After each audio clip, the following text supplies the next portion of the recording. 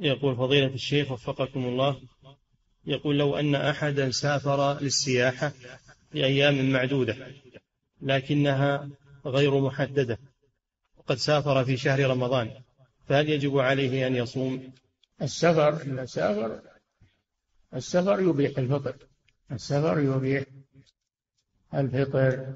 إن كان مريضا أو على سفر فعدة من أيام أخرى. سواء كان سفره للسياحة أو لغيرها لكن بشرط أن تكون السياحة مباحة. ما تكون السياحة في بلاد الكفار. حرام ما يجوز تسيح في بلاد الكفار. إنما تكون السياحة في بلاد المسلمين.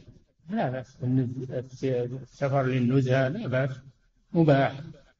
أما السفر المحرم فلا. لا يفطر ولا ولا يقصر الصلاة لأن الرخص لا تستباح للمعاصي نعم.